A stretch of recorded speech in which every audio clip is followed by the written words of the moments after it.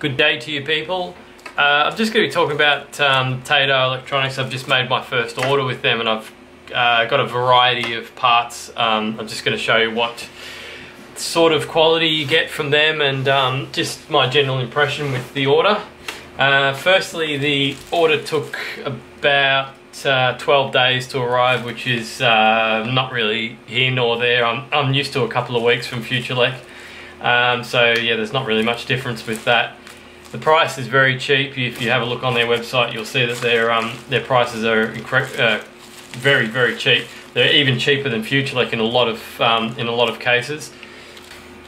To start off, the packaging is uh, a step up from what I'm used to, being FutureLEC. They come in these little plastic bags and you've got to rip them open, these stapled plastic bags, and it's quite annoying. These come in their own little um, Ziploc bag that you can um, reuse, which is pretty good. And on the front, they've labeled it nice and clearly so you know what is what. Again, with FutureLEC, sometimes some things are a little bit um, confusing as to what the actual component is inside the bag start off with one of the most common pedal parts that uh, we pedal builders buy is the three pole double throw switch. It was three dollars, which is um, which is a pretty good price. Uh, I'm I'm not totally sure if I like them or not though. They I'm, I don't know if it's my imagination, but they feel a little bit crunchy um, compared to um, some of the other ones that I've used. That just feels so much smoother, but um, yeah, I'm not sure. It could be my imagination actually. I think um, they're probably just the standard three three pole double throw switches. I think it's just in my head. Another component that I've got from them is the, is the knobs. I've bought a, a range of different colours and um, they're just the standard Davies um, standard Davies knobs. There's nothing special or better or worse about them. They're just they're just the standard um, standard issue Davies knob. The DC jacks look pretty normal to me too. I don't see anything different about them. They've got the same sort of feel. Um, yeah, there's nothing. Uh, they're, they're just the standard DC jacks. So yeah, there's nothing to worry about with them either. They're just normal. The diffused red LEDs are, are very cheap. They're only two cents each. Now for something a little bit different, um, the pots, they come with the plastic backs on them. If you're new to um, building guitar pedals, that can be handy because the generally the back of the the back of your board sits on top and uh, underneath the board you've got all your solder joints and you can basically they stop things from being shorted out so it's kind of like a protective cover so um, yeah that's a that's a nice um, nice touch they throw those the um, the clear uh, the plastic covers in and um, again they're cheap. They're only like pretty sure they're about 50 cents each so they're even cheaper than FutureLEC the jacks are pretty much what I'm used to. Um, if you're buying Switchcraft jacks uh, or Neutrik jacks you're you're gonna notice probably a difference with these. I wouldn't know because I've never bought uh, either Switchcraft, Switchcraft or Neutrik so I wouldn't know the difference. These are just pretty much standard from what I'm used to, just the standard economy jacks. With the resistors, I'd actually read this on the forums and it appears to be correct. It's a bit of a mixed bag as to whether you get a thick, uh, a thick lead resistor or a thin lead, like that's a thick lead um, resistor and that's a thin one. Um, and and see they're both metal film. There's there's no there's no sense to it. That's just pretty much whatever you get. Um, for, I, I, personally don't really care whether they're thin or thick. It would be nice if they were thick, but it doesn't bother me that much. Once they're in, they're in the board anyway, so I don't. It doesn't. It doesn't really phase me um, uh, a terrible amount. But yeah, if you don't like the thin lead ones, then um, you're not going to know which one you're going to get when you order the resistors.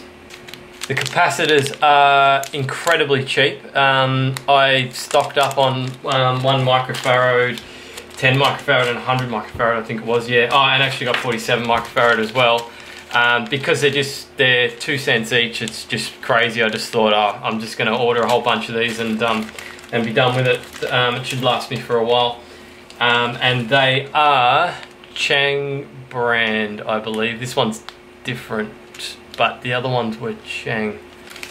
Uh, they're actually a variety of different brands. This one says Chong. This one says uh, T Tipo. Um, this one says Chang. So um, yeah, I know. Sorry, yeah, uh, there's both Chang and Chong in that one. So Chang and Chong. Hang on a sec. Chang and Chong. Yep. Uh, yeah. So there's two different ones in that one. I don't know if it makes any difference uh, for me personally. electrolytics and electrolytic, if you ask me. But um, yeah, just something for um, if brand matters to you, you're um, you're not you're just going to get um, random ones for them as well. And uh, another thing um, is the uh, switches. Um, I haven't soldered onto it yet, obviously, but it appears, if I had to take a guess, that these won't the the um, the uh, solder lugs won't melt. They don't look like the cheap ones from Futurelec. That's a cheap one from Futurelec. Have a look at that lug. It's already fallen into the into the um, into the housing of the switch. Absolute rubbish. Don't bother buying these switches from Futurelec. They're crap.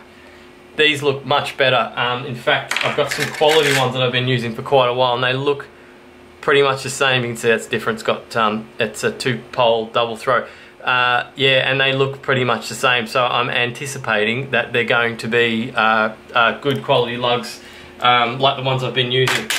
Oh, one thing um, I forgot to mention actually with the um, pots, they are alpha, um, which is pretty much the standard. They're decent, um, oh, good quality pots uh, as well. And the ceramics, um, uh, again, for me, uh, look, a ceramic is a ceramic. It, they've got thin little um, leads on them. I haven't really seen anything different than that anyway, so uh, yeah, it's um, it's it's one and the same for me. But um, yeah, if if it matters to you, yeah, they are. They've got thin um, leads on them. So that's just the general impressions of um, the order. Uh, and some of the components, as you see, there's a bit of a variety I had ordered, um, so I thought it would be a good um, uh, opportunity to show you uh, just you know like what you actually get with them at this present time. Um, I, some of the issues I've had with Futurelec is the um, if something's not in stock, they just back order the entire order and they don't even tell you that it's back ordered. I had a I had a order back ordered for three months. I, I there was a confusion with the order. I had a couple of orders going and um, I was I was talking to them about it and we are talking about the wrong order. But that aside, it was just ridiculous. It went on for three months before I actually got the order. So uh, that's left a bad taste in my mouth. I mean, they're still good. I, I mean, you know, like they're, they're, they're cheap and um, assuming everything's in stock, you'll, you'll, you'll get it within a couple of weeks, just like these guys. But I, I just don't see the point using them anymore. These guys are cheaper and they've got pretty much everything the Futurelec have got and the packaging's better and it's clearly labelled. So I think I'll just be ordering with um, Tayda from now on. So yeah, that's just my general impression and um, uh, yeah, good luck with your orders and your builds.